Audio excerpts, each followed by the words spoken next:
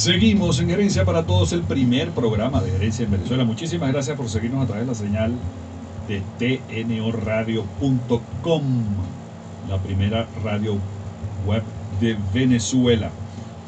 Seguimos conversando el tema de la productividad personal. E insistimos en realizar las tareas clave. Hoy es martes. Concéntrate en las tareas clave Concéntrate hoy en las tareas que producen resultados y hace una reducción de las más pequeñas. Si tienes muchas tareas, elige, vamos a colocar, vamos a hacer amplio. Elige las tres más importantes y hazlas muy bien. Supérate y sorpréndete. Y en este punto, repito una y mil veces uno de los lemas de gerencia para todos obra como la naturaleza. Haz lo necesario y hazlo bien. Y uno, este lema con el siguiente comentario. Mira, hay que estudiar. Hay que estudiar. Mira, todo no es este, habilidad eh, y guaguancó, no. Tienes que buscar, sobre todo para salir de los virus mentales. Leer cosas buenas, chicos oír música buena, valorar y estudiar bien,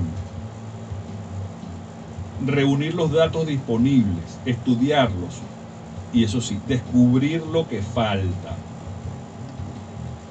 Y eso te va a hacer florecer, prosperar, que es la mejor estrategia para competir y para que aquellas personas, organizaciones que te impiden el progreso, se aparten y te permitan progresar. Mira, estamos en una situación de riesgo cuando las personas que nos rodean no practican sus habilidades para poder hacerlas bien. Porque, miren amigos, existe una gran diferencia entre hacer las cosas bien bastante bien y hacerlo con la habilidad y destreza de un profesional. Ese es el, abismo que hace la diferencia y que tú puedes ver en las empresas de orden mundial, en los ejecutivos, trabajadores, amas de casa y familias completas. Digo completas en el sentido que ayudan a sus miembros puede faltar uno de los miembros de la familia, el padre o la madre. Pero si lo que, lo que constituye el núcleo permanece observando el principio este de obrar como la naturaleza, hacer lo necesario y hacerlo bien, esa gente eh, florece. Entonces, debemos ayudar a las personas que nos rodean para que estudien, para que hagan las cosas bien, hagan lo que tengan que hacer, trabajen, practiquen, practiquen, practiquen, para que sean profesionales. Esa es la manera en que las personas tendrán mayor capacidad para elegir bien. En un ambiente así es imposible que haya líderes incompletos o esos líderes que salen, no, yo soy líder, pero que le dicen a la gente, vayan, hagan, pero no no les dicen vamos, punto, sino que vayan para allá, háganlo ustedes. Y cuando regresen que tengan todo resuelto, me llaman. No, no, no, eso no es un líder. Ojo, cualquier parecido con la realidad es pura coincidencia, estoy hablando de modelo. Entonces, hay mucha satisfacción en la habilidad, en la destreza, en moverse rápido, pero hay que hacerlo con seguridad y hay que tener la práctica para hacerlo con seguridad, hay que estudiar para hacerlo con seguridad. Tú no vas a sacarte una muela con alguien que no tiene un título de odontólogo. ¿Sí o no? Entonces, si tú tratas de vivir en un mundo de alta velocidad, con personas de baja velocidad, eso no va a ser nada seguro, hermano. Nada seguro. Entonces, estos principios, lo que nuestro objetivo aquí en Gerencia para Todos es sacarte los virus mentales o sacarnos, mejor dicho, los virus mentales bajo los cuales no me tienen que darme todo. No, no, tú tienes la capacidad de ser independiente, que es lo más increíblemente sabio que puede tener un ser humano, la independencia.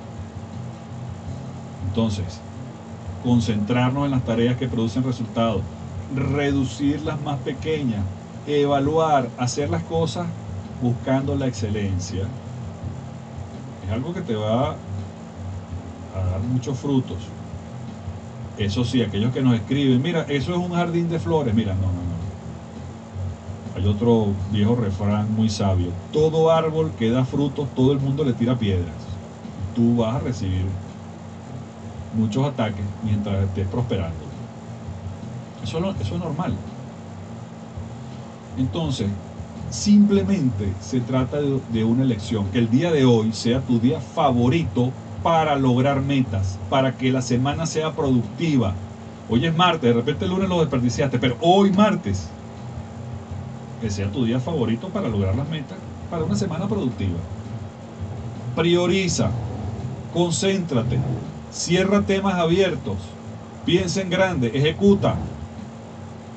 Eso sí, la fórmula para los que tienen los brazos más débiles, que somos todos, ¿verdad?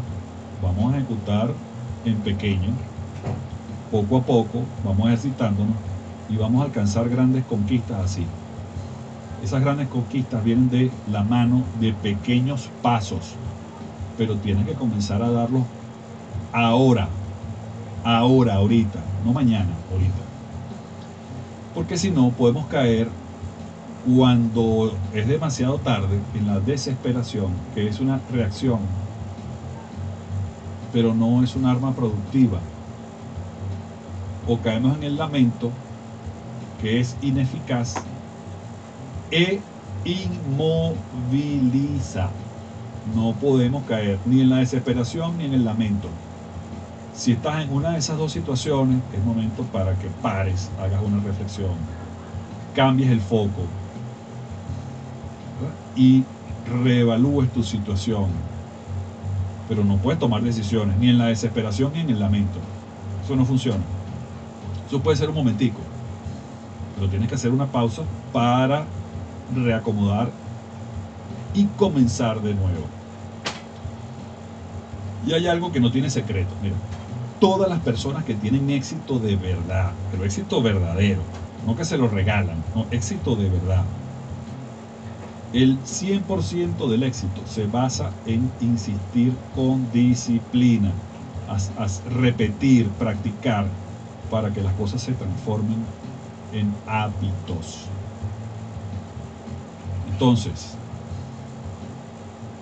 resumo, no hay mejora sin un plan.